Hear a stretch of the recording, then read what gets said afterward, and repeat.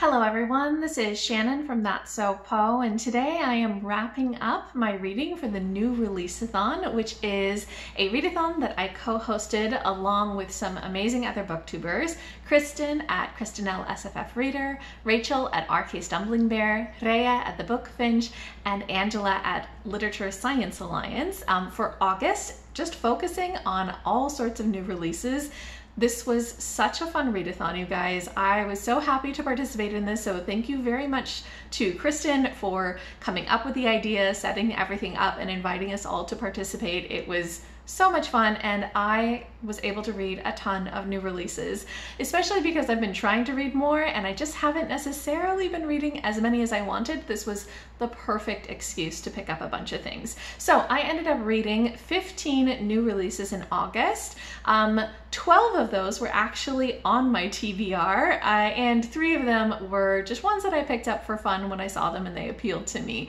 And I just had a really great reading month, so I'm gonna go ahead and wrap it up, tell you about what I read. Um, I won't go into tons of depth here, but I do have uh, weekly wrap-ups where I talk about everything, so check those out if you want more details or want to see the content warnings or anything like that. And if you make a wrap-up, make sure that you use the hashtag new releaseathon 2022 so that we can find that and add it to our playlist.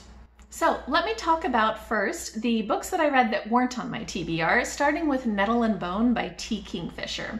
So this is sort of a fairy tale style of story with a princess who has to complete some impossible tasks and gets together sort of a ragtag group of people to help her in uh, assassinating a prince who's not a good guy.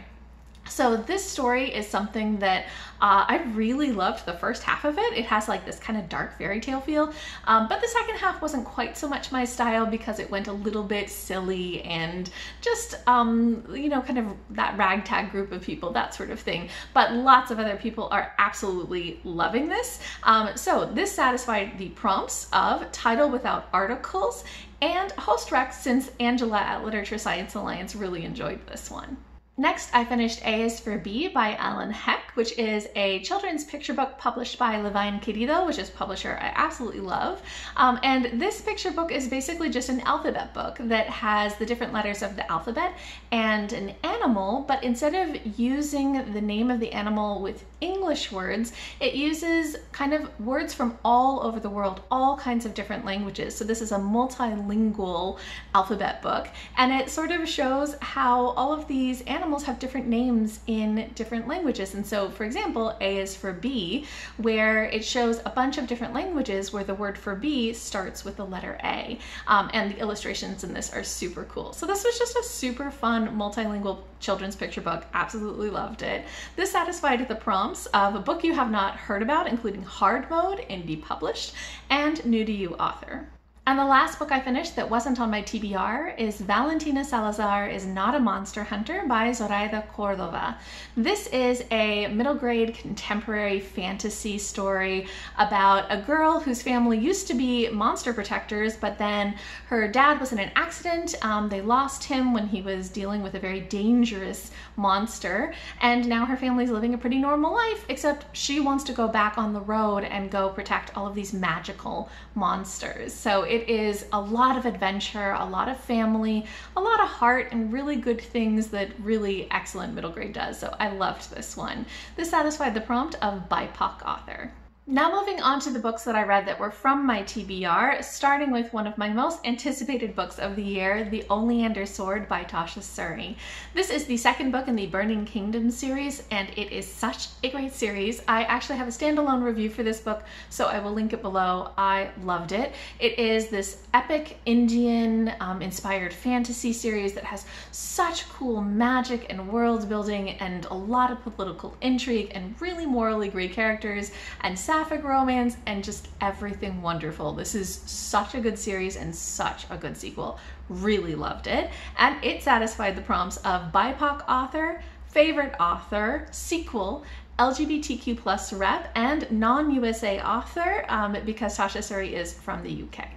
Next, I finished Data and Divination by Andi C. Buchanan, which is the fourth novella in the Windflower series. I have a series review for the first few books in that series, so I'll link that below. And this was everything that I was hoping it would be. This is a super um, gentle and cozy series that is basically mystery fantasy romance. And in this fourth book, we follow a middle aged woman who used to be part of a witchy commune um, growing up, but it was kind of a toxic place, so she left um, and has just been basically a data analyst in the city since until her nephew, who she's never met before, comes kind of needing a place to stay. And for his sake, she tries to get involved in the Wellington witchy community, which is a much healthier one and sort of builds new community and also also finds romance. Um, this is just a super sweet novella, super sweet story. This satisfies the prompts of a book you have not heard about because I haven't heard anybody else talking about this one, including Hard Mode Indie Published disabled or neurodivergent author, including hard mode intersectional, uh, novella, including hard mode not Tor.com, because this is basically self published, uh, and title without articles, as well as genre bender, including hard mode more than two genres, since this is mystery, fantasy, and romance favorite author, sequel, LGBTQ plus rep, including hard mode, not LRG, um, because the author, Andi C. Buchanan, is a non-binary and the main character in this is bisexual. Uh, also, non-USA author because Buchanan is from New Zealand. Next, I finished issue 21 of FIYAH Lit magazine, which is a SFF short story magazine by Black authors. And this magazine issue was uh, really interesting. It kind of was a mixed bag for me, but I loved one of the stories in this. It had like this really cool um, sort of Black Mirror dystopian sci-fi type vibes with some interesting questions about how we trust technology. Um, and there was a really good essay in this as well about how important um, it is for black boys to see themselves in books about magic and things like that. So yeah, mixed bag overall, but some really quality stories and essays in this. So this satisfied the prompts of title without articles, entire magazine, BIPOC authors, new to you authors, since some of the authors in this, actually all of them I think were new to me, uh, and non-USA author, including hard mode from the global south because some of the authors were Nigerian. Next, I finished The Way Spring Arrives and Other Stories, edited by Yu Chen and Regina Kanyu Wang. This is a short story anthology um, by Chinese authors translated into English. Uh, there's also some nonfiction essays in this, um, and all of the authors are women or non-binary folk. Uh, this is a collection that I buddy read with two of the other co-hosts for this readathon, Kristen at Kristenelle SFF Reader and Rachel at RK Stumbling Bear, and this was such a great great collection to read together. It has a lot of sci-fi elements, but also a lot of fantasy elements, pulls in a lot of Chinese mythology. And then also the nonfiction essays about women writing Chinese SFF today or about um, kind of the, the way that you translate and the choices involved. Some really cool nonfiction essays in this as well. So this was a, a, a really good collection, even though, you know, not every story worked personally for me. Overall, this satisfied the prompts short story, including hard mode, an entire anthology or collection, translated, including hard mode, women translators and authors, uh, BIPOC authors, genre benders, because some of these were more like science fantasy, uh, new to you author, lots of these were new to me, LGBTQ plus rep, including hard mode, not L or G, um, because some of the authors in this were non-binary, uh, non-USA author, including hard mode global south, because the authors in this were Chinese, and host rec, because Reija at the Bookfinch had recommended this. They had done uh, this book as a kind of book club book choice for their Shorts and Sorcery Club. So definitely check out their channel if you want even more about what this book was about. Then I read a couple of romances, both of which were by Jackie Lau. The first was The Unmatchmakers, and this is a really cute little story that takes place um, by the lakeside in the summer where a couple of uh, families get together, they're friends, and spend a week together. Um, but two of the people fall in love with each other, even though their moms, who are friends with each other, don't really believe in love and try to keep them separated. So there's a lot of antics of the moms getting involved. Um, this was really interesting just because of how much it focused on family dynamics um, beyond just the romance between the two characters. And that family dynamics was where a lot of the conflicts came in. So there's a bit much family drama in this, but also it was just really neat how that played out and it had super good summer vibes. This satisfied the prompts of book you have not heard about, a disabled author because Jackie Lau deals with some depression, novella including hard mode not Tor.com, this was a Kobo original, a BIPOC author, favorite author, and non-USA author because Jackie Lau is Canadian. The other book was Her Unexpected Roommate by Jackie Lau. This is the fifth and final book in the Cider Bar Sisters contemporary romance series. Um, I have loved this series and this was a really great book to end it. It's basically about a woman who has a one night stand with a guy, uh, gets kind of ghosted, but a year later ends up kind of unexpectedly having him as a roommate and they have to get along with each other except that they also still really like each other. Um, and so this was like really sweet. It was very gentle in a lot of ways but it also deals with some pretty heavy topics. Um, the main character in this has some pretty severe depression that is treatment resistant and is still kind of suffering because her mom had committed suicide years before. And she just is somebody who is kind of has to live with mental health issues where it's not something that can be solved through therapy or through medication, um, although she has been trying for, for a decade or more. Um, and so just about her getting her happily ever after and, and her finding somebody who can be there with her um, and not, you know, uh, take that to heart when, when she's dealing with depression.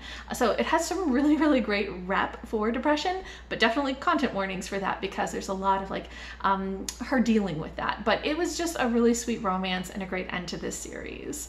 So this satisfied the prompts of book you have not heard about, including hard mode indie published, because this is self-published, uh, disabled author, title without articles, BIPOC author, favorite author, sequel including hard mode series ender, and non-USA author. Then I read a couple of poetry collections, starting with Woman Eat Me Whole by Ama Asantewa Diaka. This is a poetry collection that is all about womanhood and body and mental illness and kind of dealing with issues of the way that men treat women. A lot of very feminist themes in this. There's also just kind of a very visceral um, feel to many of these poems as they deal with the body and pain and things like that. So definitely an intense collection, but really solidly good. This satisfied the prompts of disabled author because she deals with mental illness, including hard mode intersectional, title without articles, BIPOC author, new to you author, non-USA author, including hard mode from the global south because the author is from Ghana, although she also lives in the US part-time, uh, and debut. The other poetry collection I read was Dream of the Divided Field by Yanyi, who is a Chinese American trans poet.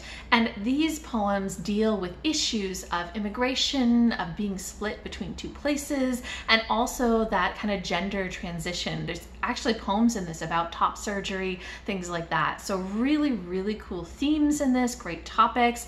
The poems themselves, though, didn't necessarily speak to me all the time, especially because some of them were a bit graphic in terms of talking about surgery, that sort of thing. Um, but I think that it does some really, really cool work.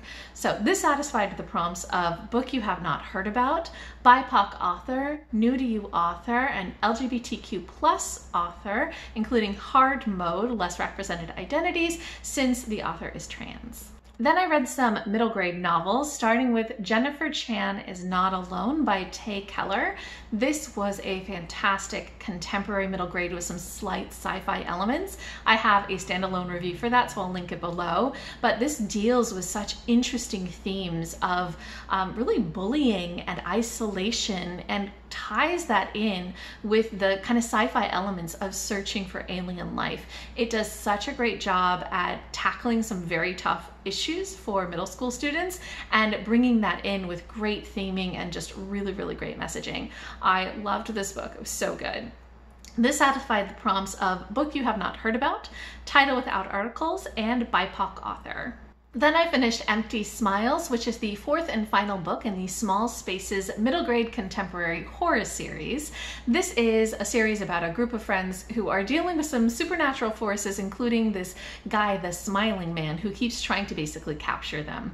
And in this fourth book, it takes place during the summer at kind of like a state fair, and there are super creepy things creepy dolls, creepy clowns, creepy funhouse mirrors, and they have to use their wits to outsmart the smiling man in order to kind of get him to leave them alone. Um, so it is super creepy and just really compelling. I loved reading this. Uh, this satisfied the prompts of title without articles, favorite author, and sequel, including hard mode series ender. Then I read The Woman in the Woods and Other North American Stories, edited by Kate Ashwin and Kel McDonald. This is sort of like a middle grade um, short story graphic novel collection um, where each of these stories is by a different author and artist um, and they are telling North American stories. And so these are some like myths but also some things that are said in the past some things that are said in the present bringing those stories from many different tribes all across the US into these graphic novels and so just a really interesting uh, collection not every kind of art style and series worked for me but I thought it was super cool overall.